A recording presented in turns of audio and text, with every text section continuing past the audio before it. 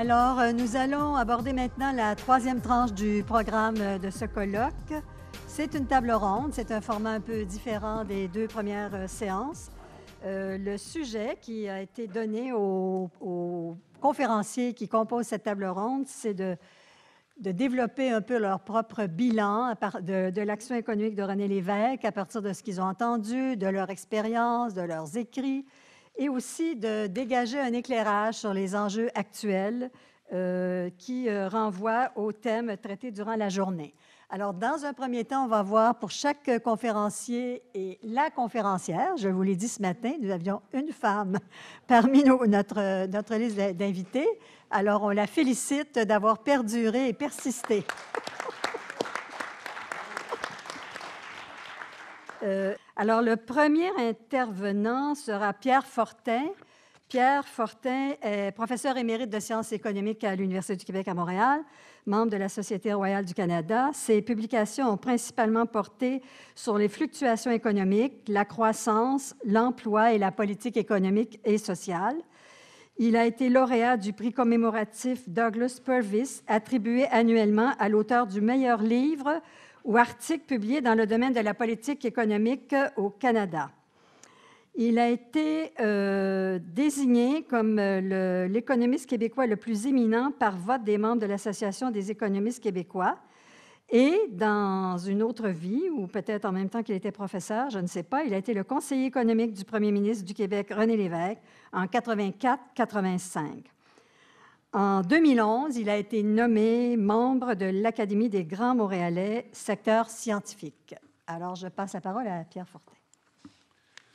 Bon, euh, merci beaucoup. Euh, elle a oublié de dire que c'est elle qui, était, qui est ma boss à la Société royale du Canada.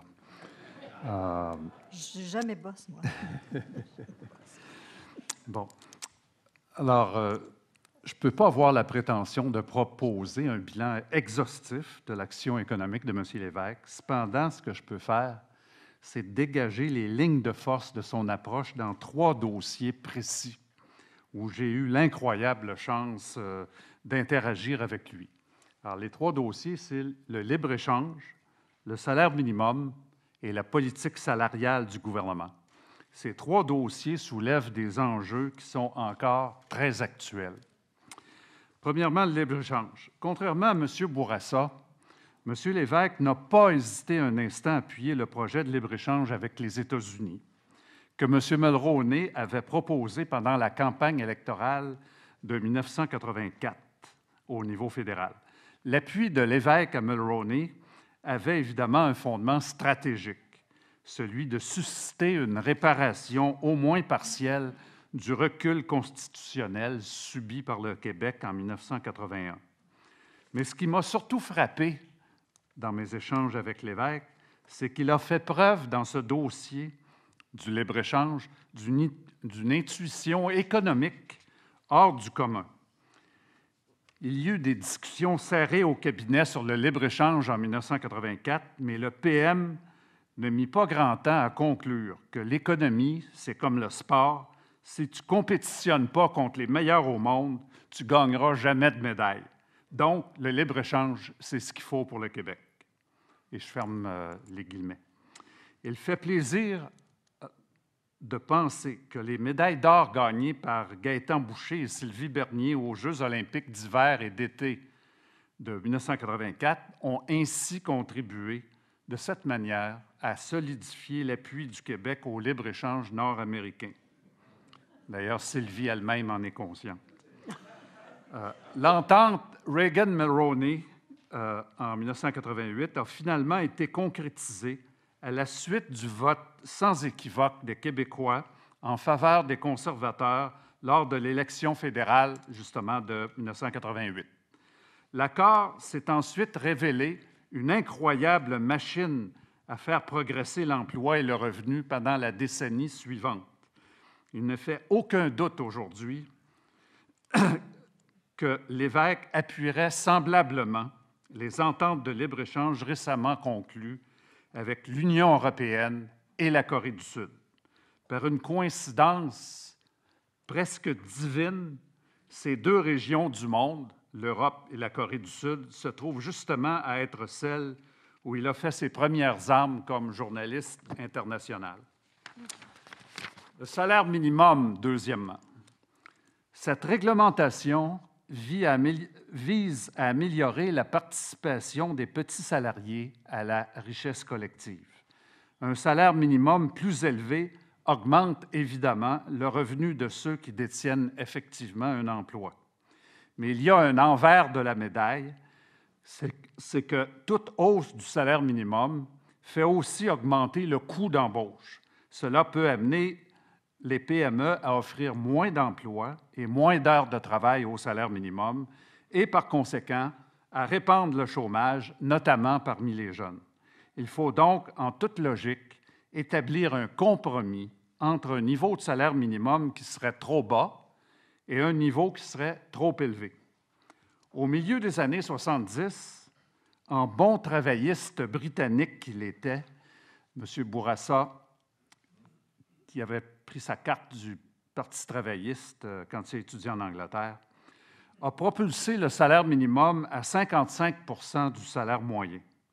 Une fois au pouvoir, cependant, l'évêque s'est vivement inquiété du lien possible entre le salaire minimum élevé et le chômage des jeunes, qui était en ascension à l'époque. Le PM a alors décrété un gel de cinq ans qui a fait diminuer le salaire minimum à 37% du salaire moyen en 1986. Donc, on est passé de 55 en 1976 à 37 en 1986. Tel que prévu, l'écart de chômage entre les jeunes et les adultes a rapidement fondu. Plus tard, au milieu des années 90, des chercheurs canadiens et américains ont démontré qu'en bas de 40% du salaire moyen, le salaire minimum n'avait pratiquement aucun effet sur l'emploi. À la lumière de ces résultats, j'ai proposé en 1998 que la politique québécoise établisse notre salaire minimum à 46% du salaire moyen, soit exactement à mi-chemin entre le 55% excessif de 1977 et le 37% trop bas, insuffisant, de 1986. M. Bouchard n'a pas hésité une seconde à acheter cette suggestion, de sorte que, depuis 15 ans, le salaire minimum québécois a toujours oscillé autour de 46% du salaire moyen. Libéraux ou péquistes euh, ont suivi cette euh, norme. À ce niveau, il apporte un soutien aux revenus des travailleurs du bas de l'échelle, tout en évitant de répandre le chômage parmi les jeunes. Ce qu'il faut retenir ici, c'est que c'est l'intuition de l'évêque qui, au départ, a déclenché la recherche active d'un compromis, de ce compromis-là. Troisièmement, euh, la politique salariale du secteur public. Jusqu'au tournant des années 1980, dans son action comme dans son discours, l'évêque avait toujours manifesté un préjugé favorable aux travailleurs et aux représentants syndicaux. En 1982, toutefois, l'attitude des centrales syndicales l'a mis dans une colère noire. L'économie connaissait sa pire récession depuis la Grande Dépression des années 30 et les finances publiques étaient en crise. Ce n'est pas pour rien pour dire, même Jacques Parizeau considérait qu'elle était en crise. Pire encore, aux yeux de l'évêque, le chômage atteignait 20% dans le secteur privé. Pour les jeunes en particulier dans le secteur privé, c'était 30% de chômage. Pour lui, l'évêque, le contraste entre le public et le privé était insoutenable, c'était indécent. Or, faisant fi des conséquences de leur action pour l'économie et les finances publiques et de toute préoccupation pour le bien commun, les centrales ont refusé net de renoncer à la hausse de 10% des salaires publics prévu dans les conventions collectives pour juillet 1982. Pour l'évêque, c'était le bout du bout, d'où sa décision de récupérer de force cette augmentation salariale de 10 dans les trois premiers mois de 1983, à la fin de la convention collective, la fameuse piscine, et d'imposer ensuite un gel pour le reste de l'année au niveau antérieur de juin 1982. À l'issue de cette confrontation, le régime de négociation et la gestion des services essentiels ont été revus par l'évêque puis par Bourassa. Cet épisode peu reluisant des relations de travail dans le secteur public soulève une question d'ordre encore plus général. La politique salariale du secteur public a des effets macroéconomiques de locomotive, c'est-à-dire des effets d'entraînement majeurs sur les salaires dans toute l'économie. Des salaires excessifs nuisent à l'emploi et à la croissance. Faute d'être attentif à ces conséquences macroéconomiques, le Québec a connu de 1975 à 1990 une augmentation persistante de deux points de pourcentage de son taux de chômage par rapport aux autres provinces. J'ai déjà estimé que la perte cumulative de revenus qui s'en est suivie pour l'économie québécoise a été de l'ordre de 100 milliards de dollars. La rocambolesque histoire des négociations du secteur public à cette époque conserve naturellement une grande pertinence aujourd'hui, en ce moment précis où les partis se préparent à entamer les négociations en vue du renouvellement des conventions collectives qui vont venir à échéance le 31 mars 2015. Contrairement à 1982, il n'y a pas de menace grave comme une nouvelle récession majeure qui pèse présentement sur l'économie et les finances publiques. Un gel salarial dans le secteur public serait donc tout à fait inapproprié, mais il ne faut pas que les partis oublient l'enseignement appris à la dure avec l'évêque en 1982, à savoir que les demandes et les offres salariales auront des conséquences macroéconomiques importantes, des conséquences pour l'ensemble de l'économie et pas seulement pour le secteur public. Qu'on n'aille pas prétendre que l'appui de l'évêque au libre-échange, le gel temporaire qu'il a imposé au salaire minimum et le blocage des salaires du secteur public qu'il a décrété en 1983 prouvent qu'il est un homme de droite. Il fut tout simplement un homme responsable, un homme de bon sens.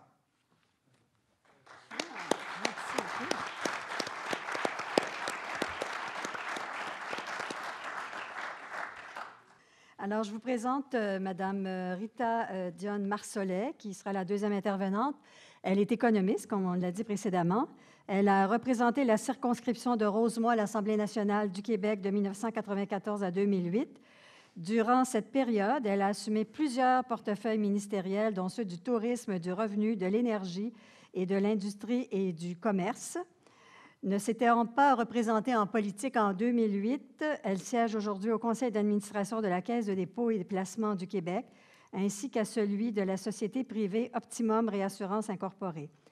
Avant d'entrer en politique, Mme Dionne Marsollet a mené une carrière de 25 ans dans les milieux d'affaires montréalais, canadiens et internationaux, et elle a débuté sa carrière de 1970 à 1979 à Hydro-Québec. Par la suite, elle a occupé beaucoup de postes. Vous pourrez voir les notes biographiques dans, le, document qu'on vous a euh, déposé. Alors, je donne la parole à Mme Diane Marcelet. Merci, Céline. Alors, euh, j'ai intitulé euh, mes propos Accroître ou dilapider le patrimoine de René Lévesque dans cette perspective de mise en valeur des ressources naturelles. En apparence, les, les priorités qui prévalaient au 20e siècle en matière de développement des ressources naturelles du Québec ont peu changé pour euh, la société québécoise.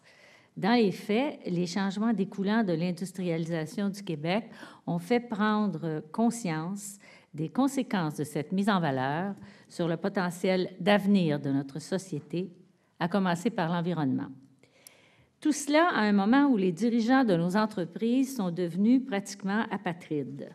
Comme les Québécois contribuent à l'activité économique et sociale à travers le monde par leur travail au sein d'entreprises multinationales, les dirigeants des entreprises établies au Québec viennent également de toutes les régions du monde.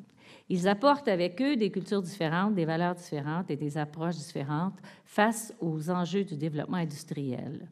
Leur ambition est centrée sur celle de leur entreprise. Elle peut différer de l'ambition qu'il faut avoir pour une société comme celle du Québec, même si ces deux ambitions peuvent se rejoindre dans des zones d'intérêt commun. Le dénominateur commun dans la mise en valeur des ressources naturelles pour le Québec, comme pour un développeur potentiel, demeure la rentabilité de cette euh, mise en valeur. Cette rentabilité est restreinte au profit pour le développeur. Pour le Québec, cette, rentabilité doit compter plus de composantes que les ratios financiers. C'est pour cela que les gouvernements doivent être encore vigilants, audacieux et persévérants. Et surtout, ils doivent être clairs quant à leurs priorités et bien informés sur les outils à leur disposition. Si les priorités n'ont pas changé tant que cela, les défis sont plus grands. L'environnement international du Québec a, lui, changé radicalement. La mondialisation économique a élargi le nombre de joueurs intéressés par les ressources naturelles du Québec. La financiarisation de l'économie ajoute au nombre d'intervenants intéressés par un profit rapide sur cette mise en valeur, et ce, même au détriment de la société québécoise la poursuite du profit écarte trop souvent les considérations sociales, culturelles et environnementales. En parallèle, l'avancement de la société québécoise suscite depuis bon nombre d'années un accroissement de l'intérêt des Québécois pour la manière dont ces ressources peuvent être mises en valeur. Le développement historique des ressources naturelles ciblait essentiellement l'exploitation et la mise en marché de ces ressources, avec en prime le développement régional du Québec par la création d'emplois, avec son corollaire, l'occupation du territoire. Les priorités devant guider les décisions en matière de ressources naturelles doivent inclure aujourd'hui une notion de pérennité possible de leur mise en valeur, avec une appropriation des profits qui en découlent par la société québécoise devant aller au-delà d'un emploi rémunérateur et du développement régional.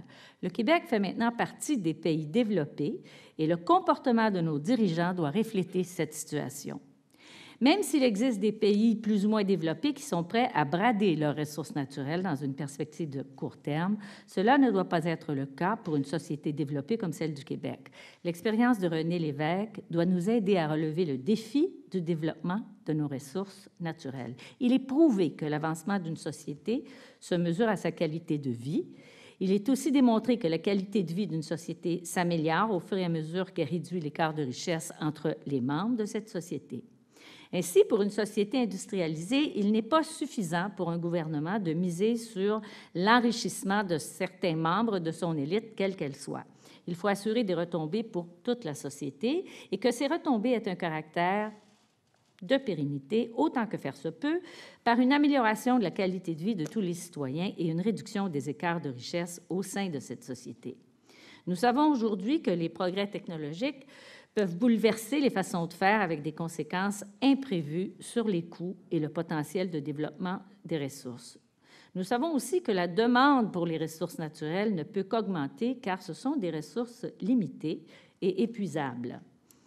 Mais l'accès à ces ressources est encore une composante méconnue. Pensons simplement à la mine de Malartic à Ossisco, qui aurait pensé que cette mine ressusciterait en quelque sorte après de nombreuses années de dormance et d'oubli des résidus que la Terre contenait et qu'elle deviendrait l'une des plus importantes mines d'or du Québec. Ainsi, les priorités du Québec évoluent elles aussi au rythme des connaissances, de la technologie et de la demande pour ces ressources naturelles. Les priorités doivent tenir compte de l'avenir et du potentiel pour les Québécois. Le Québec se glorifie d'avoir des sociétés comme Hydro-Québec et la Caisse de dépôt et placement du Québec. Ces sociétés ont été mises sur pied dans un contexte de menace de survie culturelle. Elles ont fait leurs preuves et elles occupent pleinement leur champ d'action où elles sont devenues des chefs de file. Il ne s'agit pas d'alourdir davantage leurs responsabilités, mais plutôt d'ouvrir de nouvelles avenues avec de nouveaux joueurs. Ces sociétés ont fait la preuve que le Québec pouvait rivaliser avec les plus performantes des sociétés industrialisées. La survie culturelle de la société québécoise n'est plus le seul enjeu de l'avenir du Québec moderne. Historiquement, l'ambition collective a reposé sur la disponibilité de capital et la maîtrise d'une ressource naturelle, à savoir l'hydroélectricité. Elle a été réussie par, sous la gouverne de leaders pressentant les impacts d'un début de mondialisation sans commune mesure avec ce qui se passe aujourd'hui la société québécoise apparaît toujours en porte-à-faux dans l'ensemble socio-économique nord-américain par sa culture et sa langue, comme les pays scandinaves le sont en territoire européen. Si nous voulons un avenir collectif en tant que société différente, pour ne pas dire distincte, mais surtout fondatrice d'une partie de l'Amérique, il nous faut continuer d'agir différemment. Il faut retrouver une ambition collective à la mesure de notre avenir. L'environnement international n'est pas une restriction. Il faut qu'il devienne une motivation.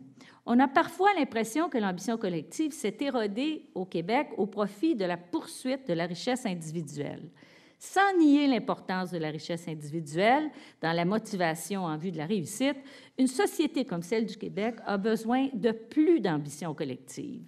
Faut-il rappeler que bon nombre de pays dotés de ressources naturelles importantes et en forte demande se sont créés des fonds souverains ou d'autres entités pour diversifier leurs sources de revenus futurs et élargir leur patrimoine actuel.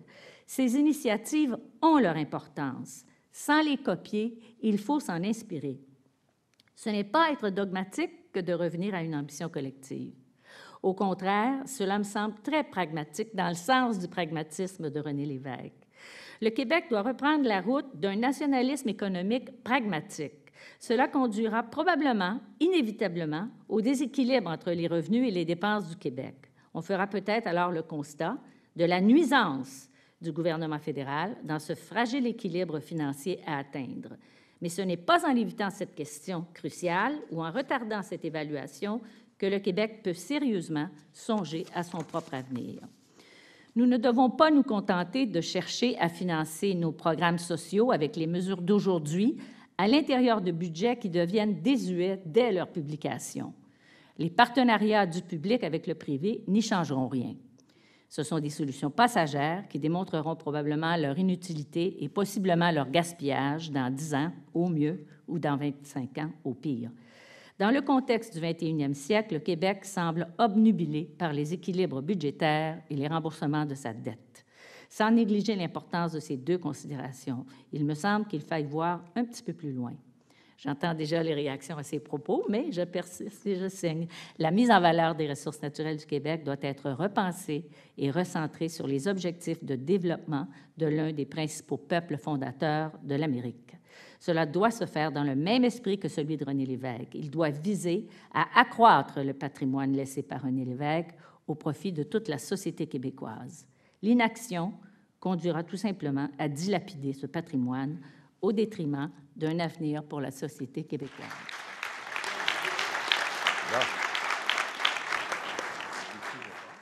Alors euh, maintenant, notre euh, troisième intervenant est Pierre Paquette.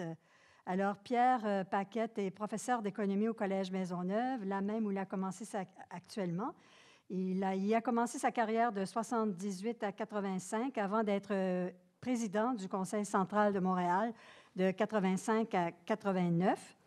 Il a été le premier vice-président du Bloc québécois en 1999. Vous vous rappelez peut-être de lui comme animateur de droit de parole à Télé-Québec en 1998. Il fut pendant huit ans secrétaire général de la CSN de 1990 à 1998. Leader parlementaire du Bloc québécois, il fut élu député de Joliette de 2000 à 2011 et il a plusieurs engagements euh, que je ne nommerai pas, dont un dernier dans lequel il a eu beaucoup de courage et euh, il vit un après. Euh, et il est, il est, toujours professeur, je pense, d'économie euh, au Cégep Maisonneuve. Alors, Pierre, à toi. Bien, merci, merci beaucoup de l'invitation. Alors, pour la petite histoire, lundi matin prochain, je recommence les cours au Cégep pour trois semaines. Alors, je donne deux cours et un examen. C'est quand même pas la croix et la bannière. Alors, euh, en 91, euh, quatre ans après sa mort, l'UCAM organisait son cinquième colloque euh, dédié aux leaders politiques du Québec contemporain, et c'était René Lévesque qui était le, sujet de ce colloque. ce premier bilan de la carrière de René Lévesque avait en toile de fond l'échec de l'accord du lac Meach, mais n'aborda pas directement la dimension économique de sa contribution, à l'exception d'un texte de Bernard Landry. Euh, on peut pourtant, en lisant l'ensemble des présentations des actes du colloque, alors j'ai ici les actes du colloque en question, c'était René Lévesque, L'homme, la nation, la démocratie, et les textes avaient été colligés par euh, Yves Bélanger, qui est professeur à l'UCAM, et Michel Lévesque, qui est à ce moment-là euh, étudiant au doctorat. On peut donc, à la lecture de ces présentations, faire un premier portrait de l'évaluation qui était faite par les participants du colloque à, l'époque. Et je vais tenter à chaud de faire peut-être des liens avec ce qui s'est dit aujourd'hui. Alors, sans surprise, évidemment, la première grande réalisation économique de René Lévesque, identifiée par plusieurs conférenciers, est évidemment la nationalisation de l'électricité. On souligne que pour lui, le bien fondé de, ce projet n'était pas idéologique, mais économique. C'est parce que Michel Bélanger et André Marier l'avaient convaincu de la rentabilité économique de la nationalisation de l'électricité que René Lévesque a fait sienne cette idée. Ça m'amène deux questions. On peut se questionner sur cette emphase à minimiser la dimension politique de la nationalisation dans l'ensemble des euh, présentations qui ont été faites lors de ce colloque de 91. Peut-être euh, un effet à retardement, c'est une hypothèse, euh, de la traversée du désert euh, que le Parti québécois et la, faiblesse de l'appui à la souveraineté dans la deuxième partie des années 80. Alors, j'aime à rappeler, parce que là, actuellement, il y en a qui font déjà un post-mortem à la fois du Parti québécois et de l'idée de l'indépendance du Québec, que de 86 à 89, 90, on ne sondait même plus l'appui à la souveraineté, tellement c'était en dehors théoriquement des, écrans euh, radars. La deuxième chose que ça m'amène à poser comme question, c'est est-ce que c'est la même approche, d'abord économique et financière, qui a guidé le gouvernement Lévesque dans sa volonté de nationaliser l'amiante en créant la Société nationale de l'amiante dès 1977?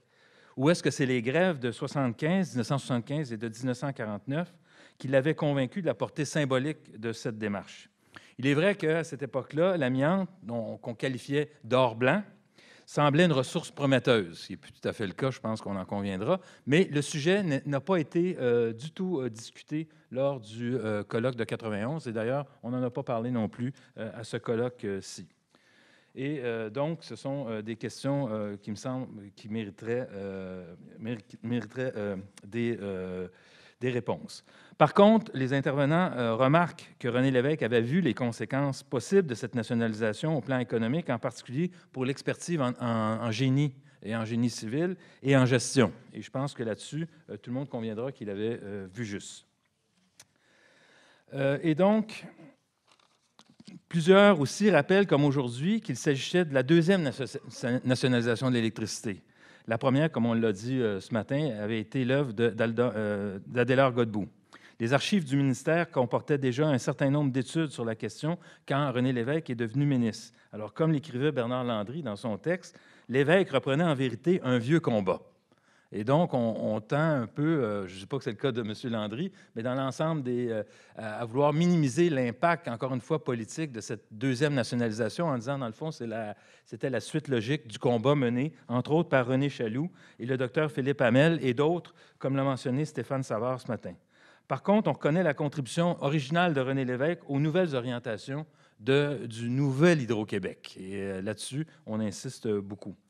Son travail dans la mise en place du ministère des, Richesses naturelles est souligné à plusieurs reprises. De même, la refonte de la loi des mines, la création de la Société québécoise d'exploitation minière, ainsi que l'imposition de la formule REN dans cette, euh, loi, euh, ils sont identifiés comme des contributions importantes de René Lévesque. Euh, par contre, sur la forêt, je n'ai vu qu'une euh, une euh, mention, et je pense que c'est Bernard Landry qui en parle dans son, dans son livre, à propos de, pas dans son texte, à propos d'une anecdote, un, bureau dont la, vitre aurait été fracturée par le point de l'évêque lorsqu'il avait rencontré une compagnie forestière qui avait menacé le gouvernement du Québec de, de, de lui empêcher d'utiliser ses rivières pour transporter le bois du futur export. Alors, donc, c'est la seule mention qui en est faite. Donc, la contribution de Robert Laplante me semble très originale euh, aujourd'hui. À ce colloque, on se rappelle aussi euh, son rôle déterminant dans l'établissement de la Régie des rentes. Même s'il n'a pas été impliqué directement, euh, on s'est souligné à plusieurs reprises, et dans la création de la Caisse de dépôt et de placement, parce que tout le monde souligne que René Lévesque a eu une participation déterminante, prédominante dans la délégation du gouvernement du Québec lors de la conférence fédérale provinciale qui s'est tenue à Québec euh, en avril 1964 et où euh, le fédéral a été pris de court, peut-être pour la première fois en 50 ans, et que personne a reculé et a accepté les demandes euh, de l'OSAGE concernant l'opting out en particulier et un certain nombre d'autres mesures concernant les programmes à frais partagés.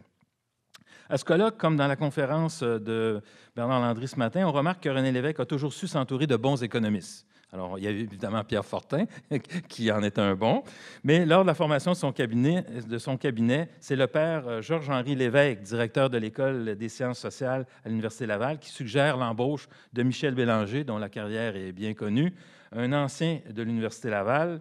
Ce dernier s'adjoint l'aide d'un autre ancien de l'Université Laval, André Marier, et c'est lui qui conseille à son ministre de contacter Jacques Parizeau pour étudier l'ensemble du projet de nationalisation de l'électricité. Ce sont deux anciens de l'Université McGill. Alors, comme quoi la confrérie des économistes euh, se, tient bien les coudes.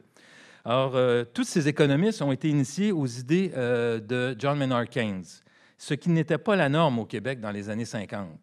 Rappelons que François-Albert Anger s'opposait aux idées de Keynes, jugées trop centralisatrices dans le cadre du fédéralisme canadien. Plus tard, ben, ce sera avec le gouvernement Lévesque, les Bernard Landry, Jean Garon, Rodrigue Tremblay, Pierre Marois, Jacques Léonard, qui n'est pas économiste, il est comptable, mais quand même qui a occupé des, euh, ministères à vocation économique, et toujours Jacques Parizeau, qui composèrent ce que, qui est maintenant euh, la norme d'appeler l'équipe économique de René Lévesque.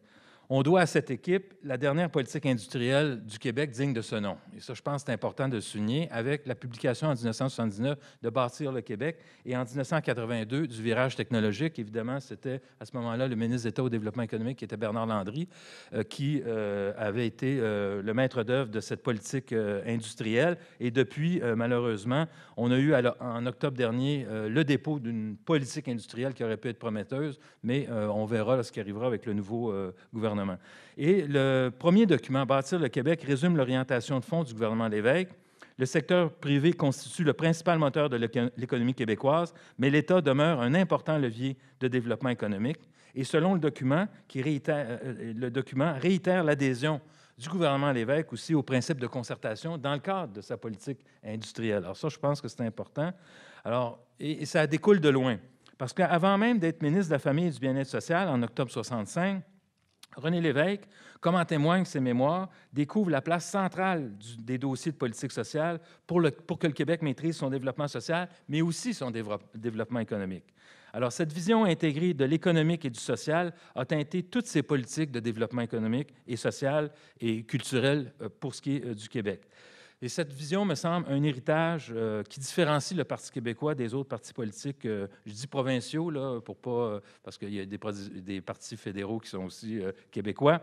Alors, le Parti libéral du Québec et l'Action démocratique, pas l'Action démocratique, là, vous voyez comment, la CAQ, mettent l'économique au devant et le social à la traîne. Et finalement, Québec solidaire fait exactement l'inverse, met le social à l'avant et l'économique à la traîne. Et donc, cette intégration entre l'économique et le social me semble être une caractéristique du Parti québécois et un héritage de René Lévesque. Pour Lévesque, le dialogue entre acteurs socio-économiques, et Gilles euh, euh, Taillon, tout à l'heure, euh, voyons, Chatillon, je m'excuse, je connais bien plus, me semble avoir été révélateur, peut-être un déclencheur de dynamisme aussi bien au plan social qu'au plan économique, d'où l'organisation des trois sommets socio-économiques, mais aussi de la multitude de sommets sectoriels et aussi régionaux.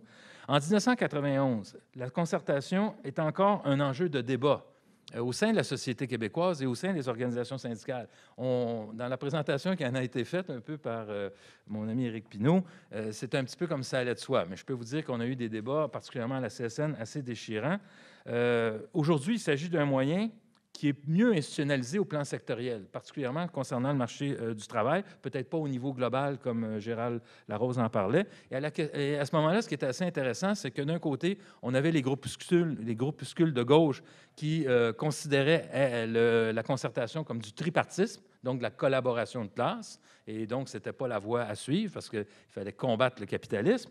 Et de l'autre, une bonne partie de l'élite québécoise considérait que c'était du néo-corporatisme.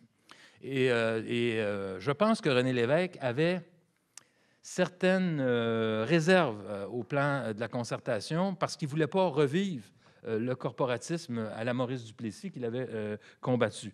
Alors Bernard Landry, dans son texte, soutenait que les problèmes des sommets socio-économiques, c'est qu'ils avaient été plus sociaux qu'économiques. Et il, expliquait ce, ce, caractère plus social qu'économique en fait, des trois grands sommets par le fait que René Lévesque n'était pas à l'aise avec les gens d'affaires. Alors, je pense que c'est une hypothèse qui a sûrement du vrai, mais je crois aussi, comme je le mentionnais, qu'ayant lutté contre Duplessis, il avait peur de recréer une forme de corporatisme dans la gestion de la société québécoise. Et Marcel Pépin, lors de ce colloque-là, résume bien cette attitude en déclarant que si l'évêque avait un préjugé favorable envers les travailleurs, il n'en avait pas envers les organisations, envers leurs organisations syndicales. Alors, euh, euh, ça, c'était en 91. Alors, les principales réalisations des différents sommets, euh, à mon point de vue, et, c'est, dans le, colloque de 91, c'est ce qui ressort, ben, c'est la loi sur la santé et sécurité au travail, qui est vraiment une loi où on applique le tripartisme. La table nationale sur l'emploi, qui a été démantelée par les libéraux, mais comme ça a été mentionné aussi par Gérald euh, Larose, Robert Bourassa est obligé de revenir quand même à des formes euh, avec euh, la Société québécoise de développement de la main-d'œuvre. Et maintenant encore, on a la Commission des partenaires du marché du travail, qui est un héritage finalement de ces sommets. Il y avait aussi le Fonds de solidarité et éventuellement Fonds d'action, qui sont des fruits de ces grandes rencontres. Et Corvée Habitation, comme réponse immédiate à la crise des années 80. Il faut remarquer que Philippe Couillard n'a rien inventé Hier, il nous a, réannoncé euh, cette bonne vieille mesure, mais euh, contrairement à celle de 80, où on invitait les institutions financières, les entreprises, les syndicats et le gouvernement à y contribuer, là, ce sera strictement le gouvernement par le biais de crédits d'impôt. En 91, l'ère de la concertation semble terminée et enterrée.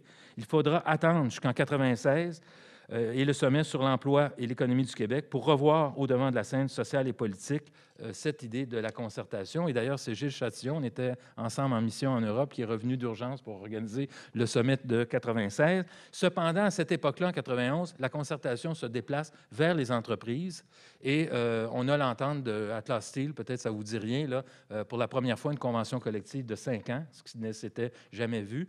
Et on a encore, dans plusieurs de nos entreprises, je pense à Firestone, à Joliette, que je connais bien, des des fruits de, de, ces, euh, de ce travail de, de, concertation, mais au plan davantage de l'entreprise. Je termine. Les finances publiques et la crise du début des années 80 dans euh, ce colloque euh, de 91 sont étudiés strictement par la lorgnette la coupure de 20% des salaires euh, des hauts salariés du secteur public pour trois mois. Alors, je vous rappelle que la, coupure a été modulée là, quand même. Et d'ailleurs, ceux qui avaient bénéficié des augmentations de salaire, c'était d'abord les hauts salariés. Et on pourra revenir dans la discussion, peut-être dans l'échange là-dessus, parce qu'il y a beaucoup de choses à dire sur ça. Cependant, contrairement à la thèse d'Éric Pinault, Francine Lalonde, qui avait un très bon texte et malheureusement décédé récemment, cette crise aurait pu être plus, aurait, pu être fructueuse et euh, que la, social-démocratie québécoise euh, aurait pu, euh, donc ça aurait pu être l'occasion, avec cette crise de 80 euh, et cette crise de, négociation de 82, de vraiment créer une social-démocratie à la québécoise. Et elle termine, cette crise s'abîma dans le cri consécutif aux lois spéciales. Il y a eu 100 lois spéciales en 82, il faut le rappeler. Bon, somme toute, l'appréciation globale de l'action économique de René Lévesque est centrée sur la nationalisation de l'électricité en 62, qui demeure son plus haut fait d'armes. Il n'en demeure pas moins que cette évaluation devrait être plus exhaustive. Aujourd'hui, il me semble qu'il y a eu en tout cas des éléments euh, supplémentaires qui ont été amenés, euh, en particulier concernant euh, la concertation et le secteur forestier. Mais je pense qu'il y a encore beaucoup à dire sur l'héritage de René Lévesque au plan du développement économique. Merci. Merci beaucoup, Pierre.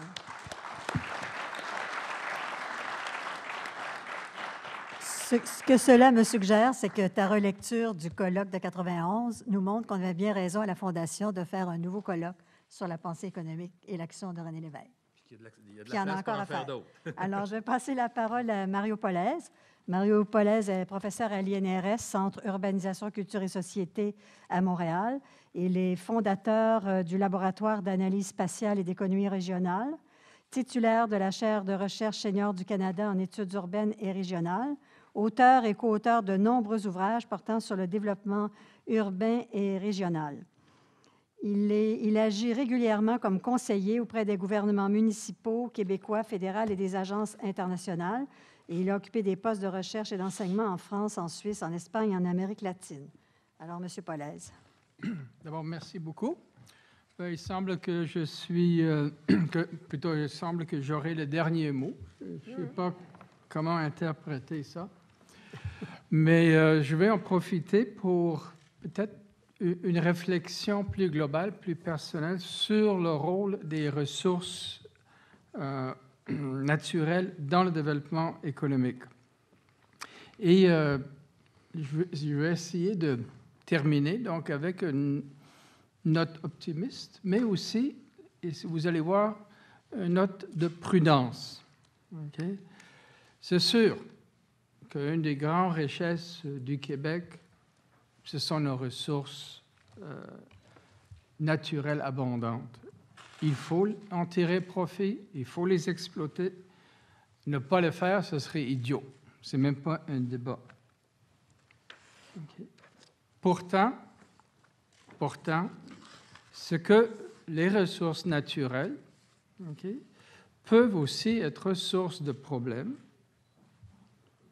Il y a aussi des pièges et, des pièges et des dangers là-dedans.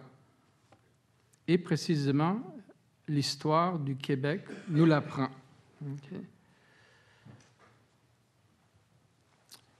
Les ressources naturelles, surtout celles qu'on peut dire qu'on peut aller chercher facilement, c'est plus facile de creuser un trou finalement que d'inventer euh, un nouveau produit. Les, ressources naturelles peuvent finalement un peu agir, en tout cas, c'est ce qu'en partie que l'histoire nous renseigne, peut en partie agir un peu comme une drogue. Elle crée une dépendance. C'est effectivement des grandes leçons de l'histoire.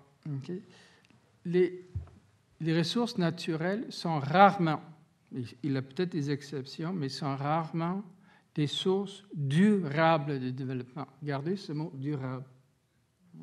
Durable.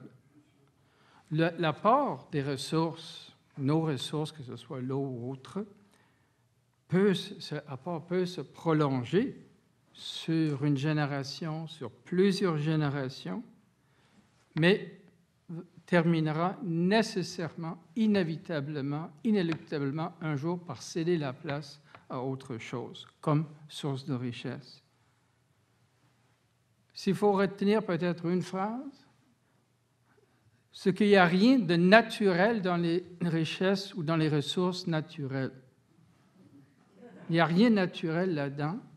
Ce sont les technologies du moment qui déterminent ce qui est une ressource. Quelques exceptions peut-être près. Il fallait attendre euh, l'invention de moteurs à combustion multiple pour que le pétrole soit une ressource. Ce n'était pas une ressource avant à peu près 1850. Regardons chez nous au Québec. Les exemples sont nombreux. Nous sommes tranquillement, de perdre notre, on en a parlé avant, d'autres intervenants, notre avantage comparatif pour les frais d'électricité. Pourquoi? À cause des changements technologiques, de maintenant dans le forage, euh, gaz, pétrole de schiste. Notre, industrie, notre autre grande ressource, notre autre grande ressource, la forêt, ben, nos papeteries, on en a parlé, sont en partie tombées victimes de l'Internet et de la baisse qui a suivi de demande pour le papier journal. Qui aurait pu prévoir ça il y a 20 ans? Comme je disais, il n'y a qu'un avantage naturel qui est vraiment naturel. Les exemples, je peux vous en sortir d'autres exemples un peu plus, pas, du tout abstraits. Pourquoi Montréal a dépassé Québec au 19e siècle? C'est le bateau à vapeur. Jusqu'à là, les bateaux pouvaient difficilement monter plus loin que l'estuaire. Quand le bateau à vapeur est passé, il. Et là, Québec a cessé de croître, Montréal a cru. L'arrivée de l'avion dans les années 50 et 60 fait qu'aujourd'hui, on n'a plus besoin d'être une port ou une, être sur une grande voie fluviale pour être un centre financier. Je ne dis pas que ça qui explique le passage du centre financier de Montréal vers Toronto, il y a bien d'autres facteurs. Mais le fait qu'aujourd'hui, on n'a plus besoin d'un port pour que les hommes d'affaires se rencontrent. Avant, c'était dans les quais sur la rue de la Commune à Montréal que les banquiers de Londres, euh, qu'on reçoivait les premières nouvelles des, banquiers de Londres pour se rencontrer. Aujourd'hui, avec l'avion, on n'a plus besoin euh, d'être euh, une ville portuaire pour être une, une grande place financière. Tout ça pour vous dire, toute ressource naturelle est nécessairement précaire. c'est peut-être un slogan, mais je dirais pour les, les, régions comme pour les peuples, la véritable source de richesse se trouve, je répète ce que je pense d'autres ont déjà dit, dans l'esprit d'entrepreneurship, dans les connaissances, les compétences et l'esprit euh, d'innovation euh, des gens. Euh, autre slogan que j'ai écrit, là, la source ultime de développement se ne trouve pas dans notre sous-sol, mais dans la tête de nos concitoyens. Et là, justement parce que je parle de tête, euh, ça fait une partie des, études qu'on fait actuellement à l'INRS.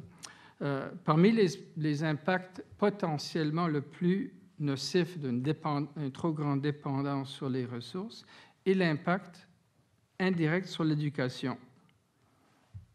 En bon euh, économiste, pourquoi s'inscrire à l'université si on peut aller gagner 40 dollars de l'heure dans l'industrie du pétrole? Il y a une étude récente qui est sortie de Statistique Canada, si vous voulez la source, je peux vous le donner, euh, qui m'a vraiment bouleversé, qui montre que dans les trois provinces pétrolières du Canada, Saskatchewan, Alberta et Terre-Neuve, euh, depuis quelque temps, les baisses, toute proportion gagnée, euh, les inscriptions scolaires sont à la baisse. La même chose se reproduit, les données de Statistique Canada qu'on est en train d'analyser vont dans le même sens, pour nos régions ressources. Si vous regardez le BTB, Saguenay, et Côte-Nord, euh, dans les trois cas, vous avez à la fois des salaires plus élevés que la moyenne, mais des niveaux de scolarité, toute proportion, euh, euh, pas seulement en bas de la moyenne québécoise, mais à la baisse. Ça incite pas nécessairement à la croissance. Et d'ailleurs, les trois régions que je viens de, de nommer, Côte-Nord, Saguenay et BTB, connaissent, si on les connaisse depuis maintenant 30 ans, un taux de croissance qui est nettement en bas de la, euh, en bas de la moyenne canadienne. Ce n'est pas non plus une incitation à l'entrepreneurship et ça ne rend pas plus facile la survie des PME dans ces régions. Je vous raconter une anecdote. Dans une des multiples études que nous avons menées euh, sur les économies régionales québécoises, je me rappelle à un moment donné, euh, c'était proche de Chicoutimi. On a rencontré un, entrepreneur qui était vraiment bien, qui était en train de fabriquer des poutres vraiment très spécialisées pour le marché américain. Euh, il était vraiment très compétent. Il m'a expliqué ses problèmes. Il dit le problème, il dit chaque fois que j'engage un jeune et je le forme, une fois qu'il est vraiment bon, et après il s'en va à l'Alcan. Parce que l'Alcan lui offre deux fois le même salaire. Évidemment, c'est très bon pour les travailleurs de l'Alcan. C'est excellent. Mais mettez-vous dans, la peau d'un jeune qui veut se lancer en affaires au Saguenay. Pas simplement vous êtes loin des marchés. donc, vos coûts de transport sont plus élevés. En plus, vous êtes dans un marché où les salaires sont plus élevés. Donc, évidemment, ça n'aide pas la diversification. Et malgré tous les grands succès de l'économie albertaine, l'Alberta connaît beaucoup de difficultés à se diversifier. Donc, avec ça, quelle leçon à tirer alors de l'épopée d'Hydro, qui est un peu euh, le leitmotiv de toute la présentation aujourd'hui, donc de cette grande euh, œuvre de nationalisation de l'électricité à, mon opinion, elle témoignait à la fois des, comment dire, des, des dangers des ressources, disons, de trop spécialisée dans les ressources naturelles, mais aussi des opportunités. Et donc, elle nous envoie un peu aussi, elle nous montre aussi un peu voie pour l'avenir. C'est probablement vrai, c'est probablement vrai, et là on peut parler des questions de tarification de l'hydro, que euh, notre politique hydroélectrique a probablement renforcé euh, la spécialisation, euh, ou plutôt, comme dire autrement, a probablement rendu certaines de nos régions encore plus tributaires d'une seule ressource comme source de compétitivité. C'est probablement vrai. Mais, mais si on regarde ça dans un contexte plus historique, historique et ça c'était les propos de presque tout le monde ici, c'est que toute cette grande œuvre de nationalisation de l'électricité en 62 et 63, la grande vertu, c'est que c'était beaucoup plus. C'était beaucoup plus que simplement une politique isolée de ressources naturelles. Je suis vieux, assez vieux pour m'en rappeler, même, même si à l'époque, là, j'étais encore un jeune immigrant.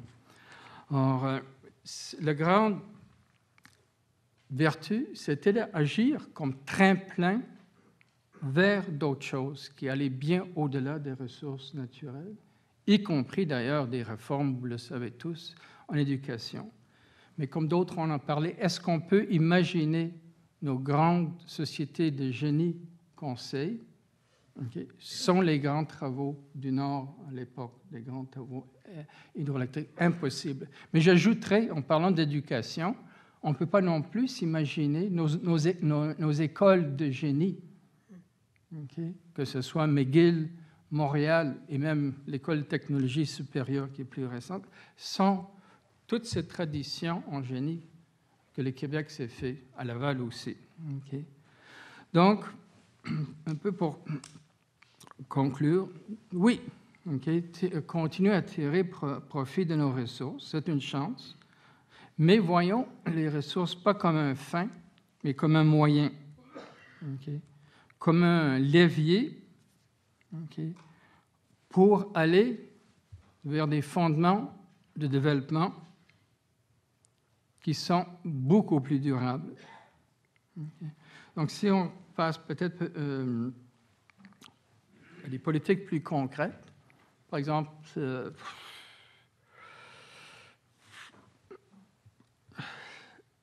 lier l'exploitation des ressources, comme ça a déjà été une idée du gouvernement précédent à un moment donné, lier l'exploitation des ressources, là je parle surtout du secteur euh, minier, à, l'obligation d'une première transformation, je ne suis pas sûr que c'est une bonne idée.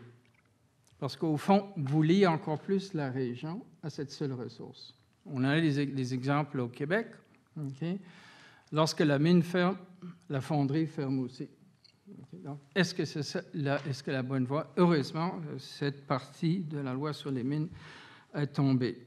Même chose, monsieur, et un peu dans la même perspective. Euh, la réflexion de notre ami Pierre-Olivier Pinault nous invite aussi, un peu dans le même esprit, à réfléchir sur les politiques de tarification euh, d'Hydro-Québec. Je ne suis pas sûr, je ne suis pas un expert là-dessus comme lui ou comme d'autres, mais que notre politique tarification euh, va vraiment dans le sens que nous voudrions en termes de développement économique à long terme du Québec. Parce que l'objectif à long terme, c'est de ne pas uniquement utiliser nos ressources naturelles, mais de s'en libérer aussi. C'est le grand défi pour lire ma première phrase. Oui, c'est d'en tirer pleinement profit, mais sans créer des nouvelles dépendances. Merci. Ah,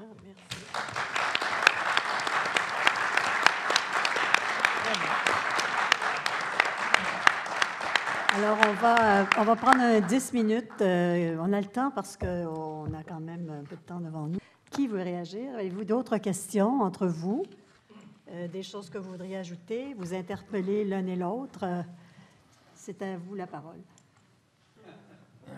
Oui, parce que je, voulais quand même sur la, la, négociation concernant la, la, volonté du gouvernement à l'évêque de récupérer les sommes d'argent qui avaient été versées aux salariés, je voulais vous rappeler tout simplement que c'était suite à une concession syndicale. Parce qu'en 79, c'est la première fois que dans le secteur public, il n'y avait pas la pleine indexation des salaires. Ah, il l'avait pour les plus bas salariés, puis les plus hauts salariés avaient renoncé à la pleine indexation. Alors, victoire euh, du gouvernement qui, euh, pour, euh, euh, faire avaler la pilule, promet une hausse de 3 à la fin de la convention collective pour s'assurer que pendant la négociation, bien, la perte de pouvoir d'achat des hauts salariés ne s'aggrave pas. Alors donc, ce qui pouvait sembler en 79, disons, un gain pour l'État employeur, c'est à cause, évidemment, de, la récession de 82 est devenu l'origine du problème. Euh, je veux mentionner aussi que quand on regarde le texte de Francine Lalonde, il y a eu toutes sortes d'initiatives qui, euh, euh, qui ont été prises à la fois du gouvernement de M. Lévesque et des syndicats. Et probablement que si la, la, circonstance se posait maintenant, on en arriverait à des solutions très original, comme ça a été le cas en 77-78, quand on a décidé d'atteindre le déficit zéro, puis il y a eu cette décision des, des départs à la retraite qu'on avait sous-estimé. Mais je veux dire, c'est quand même été une solution négociée. Alors, par exemple, je veux juste vous, parce qu'on on, a juste regardé, on, a juste, on se rappelle simplement de la coupure de 20% mais on ne se rappelle pas de tout ce qu'il y a. À un moment donné, le gouvernement, l'évêque, propose d'indexer les salaires, mais en demandant aux salariés de renoncer à leurs augmentations de salaire. Alors, ça, équivalait à peu près à 100 millions de dollars. Alors, imaginez-vous si les centrales syndicales avaient accepté ça, le gouvernement aurait été pris avec les mêmes problèmes financiers.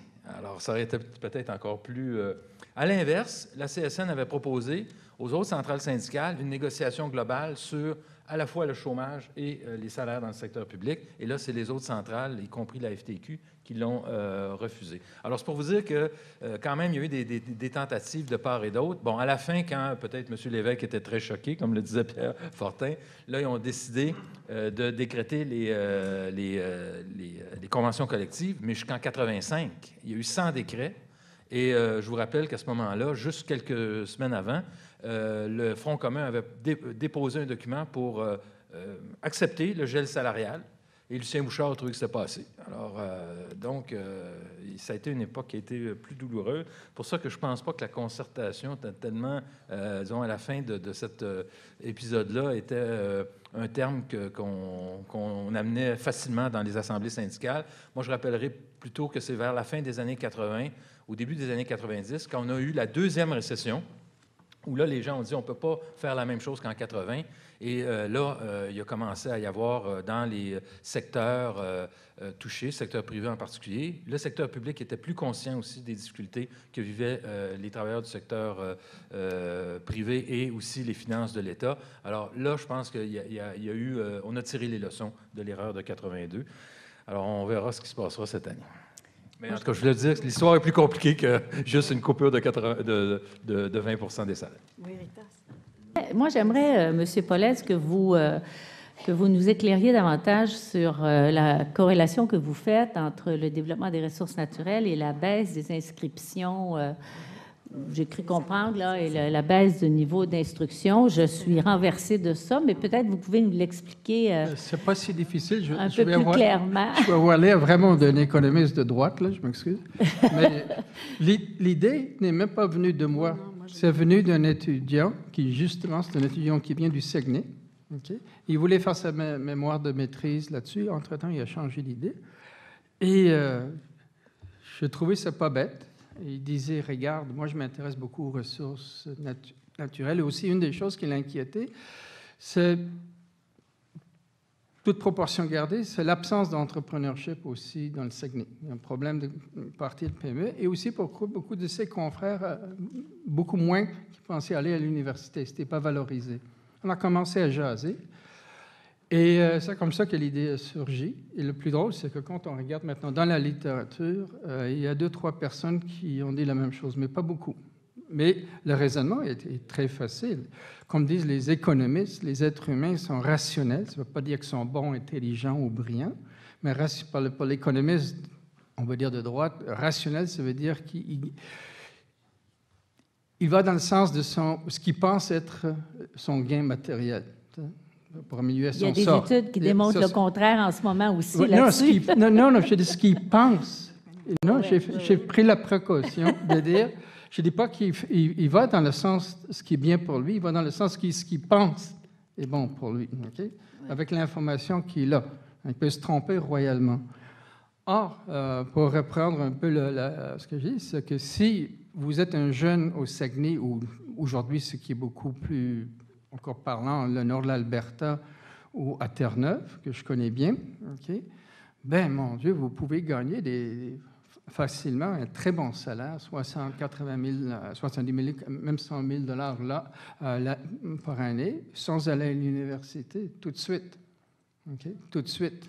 Euh, Donc l'incitation pour poursuivre vos études est beaucoup moins. Et, ben, et malheureusement, euh, ce résonance semble se confirmer euh, par les données. Moi, j'ai fait un calcul avec justement les étudiants récemment, je peux vous l'envoyer, où on a, standardisé les données de 70 à Je ne parle pas de ce qui est le, non-recensement de 2011, qui est une catastrophe. Mais euh, jusqu'à 2006, on voit, par exemple, si on prend de l'agglomération du Saguenay, pas simplement est-ce que par rapport à la moyenne québécoise, ce qui n'est pas étonnant, ce qui pas étonnant, que la proportion de personnes avec un diplôme universitaire est bas de la moyenne, ça, c'est pas une, surprise. Ce serait la même chose pour Trois-Rivières ou, une autre ville équivalente. Mais c'est que la tendance est à la baisse. L'écart est en train de, de s'agrandir. Voilà.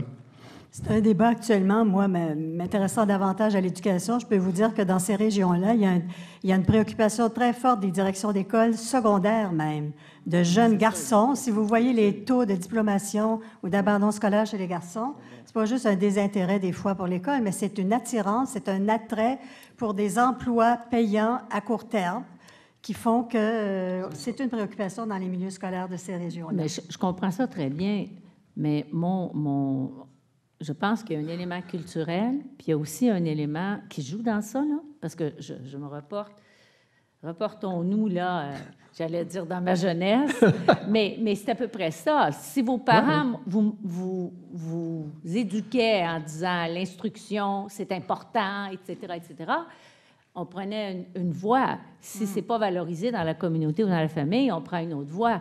Euh, mais ce que, ce que je voudrais ajouter aussi, je conteste pas euh, votre constat, mais je le trouve, je, je trouve ça un, un petit peu court, parce que oui, d'une part, il faut ajouter euh, une culture, une culture familiale, une culture locale. C'est sûr que dans certaines régions plus isolées, c'est peut-être plus, euh, plus, plus fort. Il faut aussi tenir compte de, de la, di- de la disponibilité d'une infrastructure universitaire, si c'est si c'est ce qu'on veut mesurer. Et puis, euh, il y a aussi le fait que dans la, dans la société moderne, euh, on a effectivement tendance à aller vers la facilité euh, parce qu'on est plongé dans un environnement technologique qui, Mais je- nous- je suis qui nous- absolument qui d'accord. valorise, j'allais dire le jeu, mais je- je- Il n'y a pas de désaccord entre nous deux. Ouais, non, non, non, pas du je dis, tout, mais c'est je suis faut- étonnée de Non, ça. ce que je dis, ce dont nous devons être conscients comme société, ou Ouais, hommes politiques ou femmes politiques, ouais, c'est- il faut être conscient de ce danger, ouais. de ce piège, et donc agir en conséquence. OK? Donc, c'est sûr que justement les revenus qu'on peut aller chercher d'une façon ou d'autre, que de ne pas négliger le système d'éducation. serait en important de diffuser en- ça. En, en parallèle. De diffuser votre étude, surtout à la veille du développement du Grand Nord, là, ça vaudrait la peine là, de, de, Oui, jamais de été fort faire sur un le petit plan peu d'éducation là-dedans. Là. Euh, petite anecdote, euh, j'ai des collègues qui travaillent à l'Université de Manchester. Euh, eux, euh, un qui fait une étude sur le problème de la non-poursuite des études supérieures en Angleterre, euh, compte tenu de l'attrait de la City. Euh, c'est-à-dire de la City, c'est-à-dire le centre financier qui s'appelle la City, OK. qui fait qu'il y a euh, un des incitatifs à finir sa maîtrise et son doctorat quand tu es dans le domaine des sciences humaines en Angleterre. Donc, ce n'est pas juste les ressources naturelles qui engendrent le problème. Et peut-être pour rappeler une autre solution, la Norvège, elle, qui était confrontée à ce dilemme-là dans les années 60-70, quand elle développait son secteur pétrolier, a décidé que les salaires dans le secteur pétrolier seraient fixés par l'État plutôt qu'être fixés par, les, euh, par la négociation collective, de manière à éviter, donc il y a moyen de régler ça, de manière à éviter justement un- un- une désarticulation entre les, les, les salaires dans ce secteur-là et le reste pour, pour éviter bon, les faits euh, dont vous parlez. Mais, mais moi, je, me pose une question plus générale sur la question de l'énergie. Euh, on sait qu'en ce moment, on, est confronté au problème du carbone, d'une économie dépendante sur le carbone et de, la, et penser une transition. Puis l'électricité semble apparaître comme une des voies possibles, avec toutes les bémols qu'il faut mettre sur le, le- Mais je me demande, ça serait quoi? On, a utilisé l'hydroélectricité pour construire euh, une- classe d'affaires de gens qui parlaient français, euh, une expérience donc en gestion, euh, des, ingénieurs, un levier de développement régional. Euh, ça a été donc un outil de transformation de la société québécoise, de transition d'une situation qu'on peut qualifier coloniale à post-coloniale. Aujourd'hui, on est confronté à une nouvelle transition. Est-ce qu'on peut demander l'hydroélectricité, à Hydro-Québec ou une société plus, de, faire cette, transformation? Est-ce qu'on oserait le faire? Est-ce que ce serait quelque chose qui serait possible de dire c'est un levier ou il faut juste laisser aller les choses un peu comme on fait actuellement? Moi, moi, je trouve ça bien Euh, intéressant, si vous me permettez, Oui, parce que je, je suis tout à fait d'accord avec vous. Je crois que l'utilisation de l'électricité, bon, l'hydroélectricité, on connaît les coûts, on sait, bon, euh, et on peut tout ouvrir un débat sur la tarification. Je suis des partisane du coût marginal, etc. Une fois qu'on a dit ça, euh, il y a d'autres formes de production potentielle pour l'électricité et je crois que ça, devrait, euh, ça devrait faire l'objet d'une réflexion approfondie parce qu'il y a un potentiel au Québec là-dessus.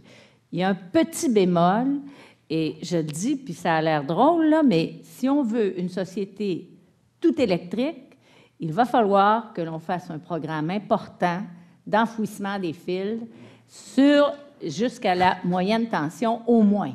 Parce que ça, sinon, ça n'a pas de sens. Là. vous êtes chez vous, puis vous pouvez ni prendre l'auto, ni, faire rien sauf marcher. Ça n'a pas de sens. Alors, il y a toute une réflexion à faire là-dedans. Et je me souviens très bien d'avoir demandé à un moment donné aux gens de l'hydro combien ça coûterait enfouir les fils dans tous les villages, les villes du Québec, avec, mettons, un seuil de population, là, et les, les, fils à moyenne tension. Et à l'époque, la technologie ne permettait pas d'enfouir tous les fils. Aujourd'hui, fait longtemps que je n'ai pas regardé ça, là, mais ça vaudrait peut-être la peine. Puis à l'époque, c'était assez important, mais pas beaucoup plus important qu'un grand barrage. Et, euh, et, imaginez l'effet structurant sur une économie dans une situation de stagnation, là, ça serait un élément de relance. Et j'ai l'impression, moi, que c'est un peu ce que le gouvernement marois avait en tête et qui a peut-être qui n'a pas eu le temps de réaliser ou même d'amorcer. Mais, mais je pense que pour le Québec, ce serait une avancée mm. énorme mm-hmm. et ce serait structurant à tout point de vue. Merci. Micro à ma gauche. Euh, mon nom est Claude Rioux. J'ai été à la CSN pendant 30 ans, dont 24 ans au papier, et j'ai travaillé en région. Et je voulais réagir à ce que M. Polaise a dit concernant l'éducation supérieure dans les villes papetières. Et c'est une anecdote. La Société Domtar opère à Windsor une usine euh, qu'on dit euh, de classe mondiale. Puis si jamais vous allez visiter, vous allez voir que c'est vrai. Et c'est en grande partie grâce à M. Parizeau. Si l'usine a été construite en 1983, les démarrants en 87, mais à un moment donné, la société dentaire avait décidé que pour embaucher, ça prenait un deck. Je peux vous dire qu'il y a eu toute une réaction dans la région et la ville de Windsor. Les parents sont allés voir la députée, Mme Junot, peut-être qu'il y en a qui l'ont connue, pour lui dire que ça n'avait pas de bon sens et de faire pression sur le gouvernement du Québec pour qu'il demande à la Société dentaire de reviser cette politique qui consistait à embaucher dorénavant des gens qui possédaient un deck, soit pour les métiers ou encore pour la production. Ça m'avait bien intrigué, parce que ce n'était pas en 1920, ça, c'était dans les années 90. Parce que la source d'emploi, euh, c'est quelque chose. Le salaire moyen à Windsor actuellement doit être au cours de quoi? De 32, 33 de l'heure. Il y a beaucoup de parents qui considèrent qu'avec un secondaire 5, peut très bien euh, opérer la machinerie là-bas, ce qui est vrai d'ailleurs, mais il ne valorisait pas beaucoup cette idée de l'éducation. Par contre, dans d'autres régions, il y a des parents qui ont décidé de valoriser l'éducation parce qu'ils s'apercevaient que dans leur industrie forestière, pour confirmer ce que vous avez dit, euh, l'industrie est en déclin. Et là, c'est ça qui m'étonne que vos chiffres disent qu'au Saguenay, alors qu'ils savent que l'industrie forestière est en déclin, pas à peu près.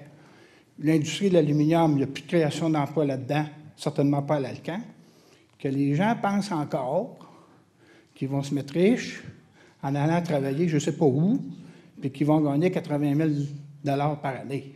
Il y a quelque chose là, que j'essaie de saisir, pourquoi que présentement vous avez ces genres d'observations qui consistent à dire Bien, les inscriptions à l'UCAC, par exemple, j'imagine, ou ailleurs, diminuent, mais alors qu'ils sont dans une région où les perspectives d'emploi qui étaient traditionnellement des gros salaires avec un secondaire 3, secondaire 4, même avec une septième année à un moment donné, euh, ça n'existe plus.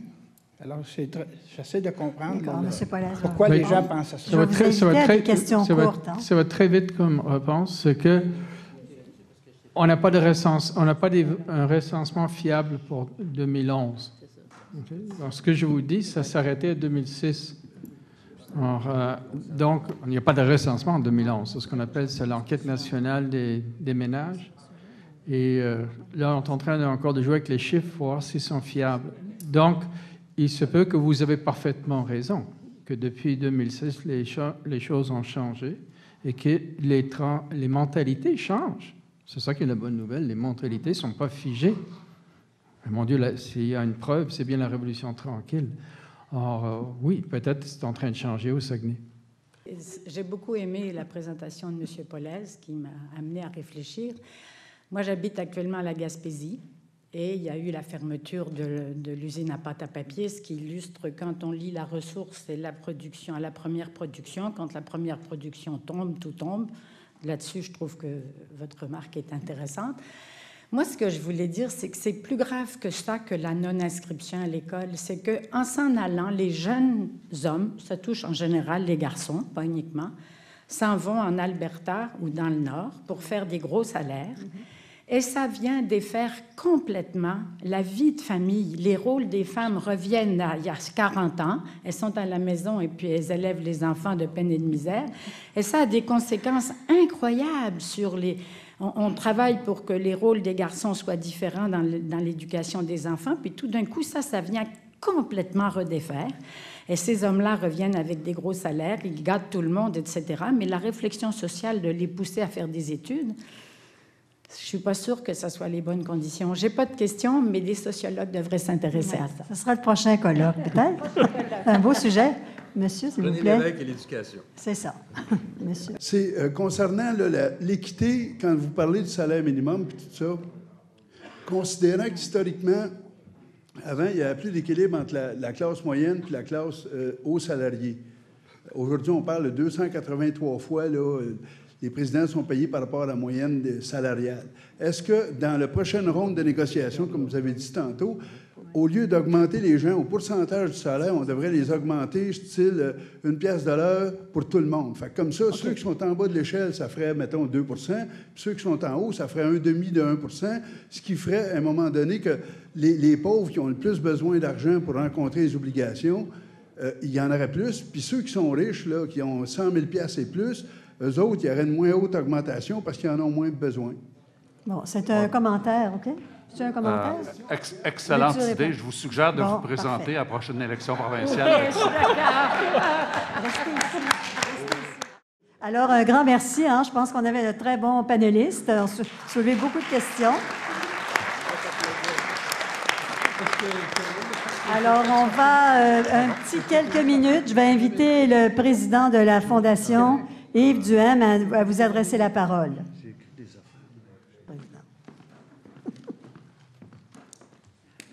Merci bien, euh, Céline. Je vous prends quelques minutes pour saluer d'abord euh, deux anciens de la jeune vieille garde de René Lévesque, euh, Premier ministre Landry et mon ami Marc-André Bédard, des auteurs du Saguenay. Là, je ne le vois pas. Où est-ce qu'il est là. Alors, bienvenue à Montréal. Quelques mots sur la Fondation René Lévesque. Cette fondation en, écoutant les panélistes aujourd'hui, en, vous voyant également, euh, m'amène à vous dire très clairement qu'elle doit continuer, qu'elle doit durer. René Lévesque euh, est un homme d'État, probablement un des plus grands, en tout cas nous, nous l'avons connu, un homme d'une grande intégrité, un authentique Québécois, un homme de grande valeur. Moi, je voudrais vous raconter euh, vais vous faire un petit mot personnel, puis ensuite euh, faire mes petits remerciements. Euh, j'ai très, très bien connu René Lévesque. J'ai eu la chance d'habiter le 91 bis d'Auteuil, premier étage. René Lévesque avait son appartement au deuxième. Alors, il devait passer devant ma porte à chaque fois qu'il montait chez lui. Ça arrivait qu'il cognait. On ouvrait, puis on se piquait une jasette. Et cette proximité m'a amené à connaître cet homme. Il est considéré comme un grand frère et je peux vous garantir que sa capacité de résilience est incommensurable. C'était un dur à cuire, un tough, comme on dirait, en bon québécois. Et c'était aussi un homme pratique et d'un pragmatisme déconcertant parfois Il collait à la réalité et c'est un des rares hommes politiques que j'ai connus, si vous me passez l'expression, qui sentait le monde. Mais je voudrais vous rappeler un événement, ça va faire plaisir à mon ami Michel Carpentier. Vous savez, tantôt, on parlait de la crise de 82. Pierre Fortin en a parlé, d'autres aussi ce matin en ont parlé.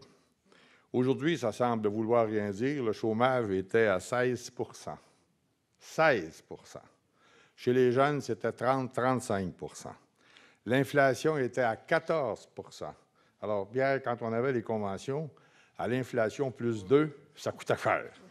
Moi, j'étais là, là. Les banques faisaient des prêts commerciaux à 22% qui était le meilleur taux à l'époque. J'ai moi-même donné l'autorisation à Hydro-Québec d'émettre des obligations, des obligations d'Hydro-Québec à 16,5 L'aide sociale, il y avait 350 000 familles de plus qu'à la normale à l'aide sociale.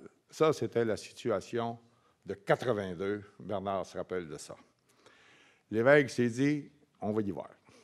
Il a convoqué le Conseil des ministres. On est passé deux jours et demi à Compton. Et le lundi suivant, il y avait une grande conférence de presse au Salon Rouge. Et moi, je vais parler pour le volet qui m'intéresse euh, le plus, dans lequel j'ai été impliqué, au-delà du plan Biron, du nom du ministre de l'Industrie de l'époque. Notre gouvernement endossait les marges de banque des PME et des entreprises en difficulté. Il y a eu le plan Biron 1, puis il y a eu le plan Biron 2 pour leur épargner la faillite. On a créé le Fonds de solidarité, qui aujourd'hui a quelques dollars à la hauteur de 9 milliards aujourd'hui là-dedans. Et il y avait aussi le programme de Corvée Habitation de concert avec les caisses POP et une banque, je pense, ils sont pas tous embarqués, là, Autrement dit, ça a été une mobilisation générale. Dans le domaine des forêts, on a lancé un programme de modernisation. J'ai lancé à l'époque le premier programme de reboisement, 300 millions de petits plants la première année. J'avais rencontré un ministre chinois pas longtemps après qui m'avait dit, lui, qu'il en avait fait planter 20 milliards. On a lancé un programme d'accélération dans le secteur minier. Et il s'est investi en dollars de ces années-là 1 milliard 700 millions en Abitibi, sur la côte nord. Dans le domaine de l'énergie, on a fait entrer le gaz naturel et on a établi une politique tarifaire nouvelle pour Hydro-Québec permettait des grands investissements avec une tarification connue sur 22 ans et 6 mois, avec un rattrapage au tarif grande puissance à la fin. Bref, René Lévesque nous avait passé le message qu'il fallait qu'on attaque cette récession-là et de ne pas laisser notre population dans la misère. Et quelques-uns vont s'en souvenir, en 82, nous regardions l'Hydro-Québec, qui était devenue une entreprise à milliards de dollars de chiffre d'affaires, et qui nous avait coûté 603 millions en 1963, et dans laquelle nous n'avons jamais investi un seul dollar de plus depuis 1963. Et nous avons décidé qu'il était peut-être temps qu'Hydro-Québec nous retourne des dividendes. Alors, la loi a été pilotée, a été adoptée, non pas à l'unanimité, âprement critiquée par l'opposition à l'époque. Et cette loi, aujourd'hui, a rapporté depuis 1982 la modique somme de 82 milliards 100 millions, incluant l'année 2013. Pour ceux qui critiquent le fonds de pension de René Lévesque, ils repasseront. Je répète les chiffres 22 milliards 100 millions pour un investissement de 603 plus Montreal Lighted and Power de 44 je ne connais pas beaucoup d'entreprises qui euh, peuvent en faire autant. Dans mes petites discussions avec M. Lévesque dans les années suivantes, lorsqu'il m'a proposé, bon, ce n'était pas une grande proposition, c'était presque une obligation de prendre la relève au ministère des Finances en 1984, je m'étais dit qu'il fallait qu'on serve des dividendes d'Hydro-Québec pour asseoir davantage le développement économique du Québec et non seulement verser cet argent-là dans le fonds consolidé. Alors, j'en ai beaucoup parlé avec M. Lévesque, puis il a dit D'accord. Combien vous allez mettre là-dedans? C'est dans le budget que M. Landry et M. Bédard ont voté. 2 milliards 500 millions qui a été mis, qui a été proposé dans le budget et accepté par l'Assemblée nationale. Ça n'a pas eu de suite parce que malheureusement, on a quitté après. Mais M. Lévesque, il y tenait au développement. Et il avait été lui-même ministre responsable des richesses naturelles. Il souhaitait que les Québécois développent leurs propres richesses, mines, forêts, et que non seulement on en soit que les managers ou les employés, mais les propriétaires. C'est ça son ambition. Et avec les, fonds de l'État, du gouvernement, qui s'associeraient avec l'entreprise privée, on pourrait aboutir à quelque chose de pas mal intéressant.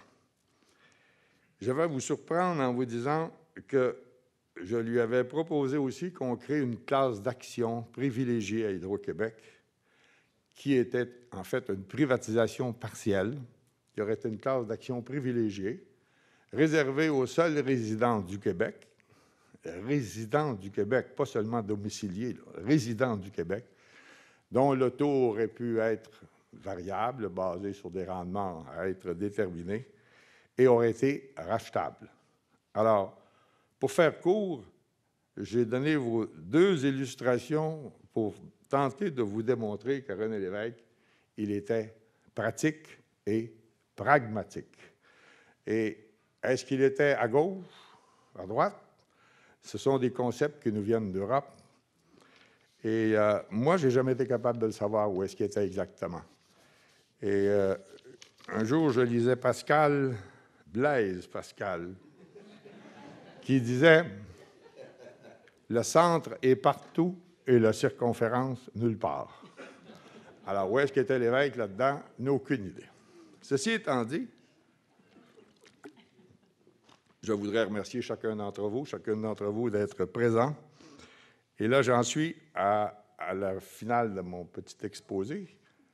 Les nécessaires euh, et remerciements. D'abord à ceux et celles qui ont participé aux trois ateliers de très haut calibre, un niveau fantastique. Et je voudrais rassurer ceux qui sont ici, qui n'ont pas eu le temps de prendre toutes les notes, que nous publierons également les, les actes de ce troisième colloque. D'une façon plus particulière, je voudrais remercier la haute direction d'Hydro-Québec, qui est le commanditaire principal de cet événement.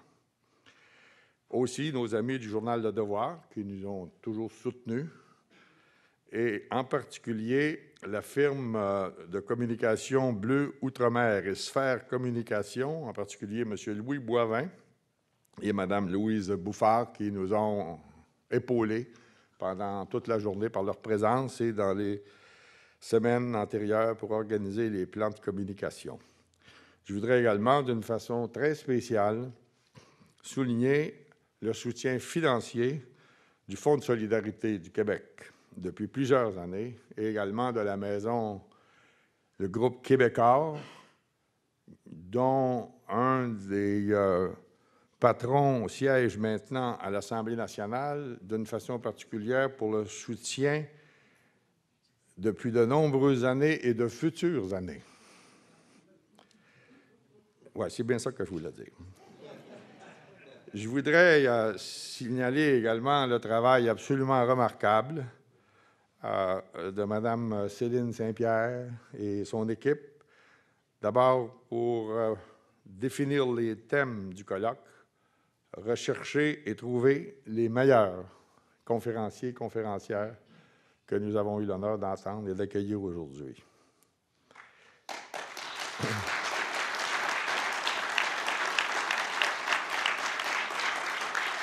Le, le grand responsable de l'organisation matérielle, technique, journalière, quotidienne, mensuelle, etc., euh, M. Alexandre Stefanescu. Merci, Alexandre.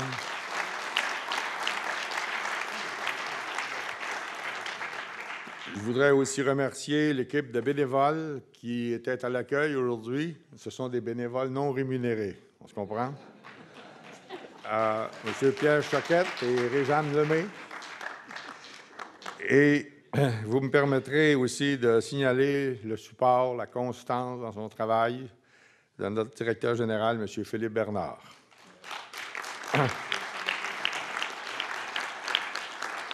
Un dernier mot euh, pour vous dire que si vous allez sur le site de la Fondation René Lévesque, vous allez voir que nous avons maintenant de disponibles, je le dis pour les plus jeunes, euh, qui sont à l'université ou au collégial ou à la maîtrise, peu importe, que nous avons un nouveau programme de bourse d'études de la Fondation René Lévesque. Elle est minuscule. On commence parce que euh, nous avons mis beaucoup d'années à convaincre les gouvernements supérieurs pour n'en nommer aucun euh, que notre organisme méritait de vivre et d'être reconnu comme organisme de bienfaisance et de pouvoir émettre des reçus pour fin d'impôt. Alors, ceux qui sont à un taux marginal de 30% vous aurez droit à un crédit d'impôt de 300 dollars à chaque tranche de 1000, et etc. On accepte jusqu'à 1 million. Alors, euh, voilà. Euh, nous euh, allons nous quitter là-dessus. Je vous invite à prendre un verre de l'amitié en vous disant que j'ai bien l'intention que nous tenions un quatrième colloque dans deux ans. Ordinairement, c'est deux ans, trois ans. ça demande beaucoup de travail de préparation. On va trouver un bon sujet. On verra ce que l'actualité politique d'aujourd'hui va alimenter dans nos débats, parce qu'il va sûrement y en avoir et euh, on vous convoquera en temps utile. Merci de votre présence, merci de votre soutien. À bientôt.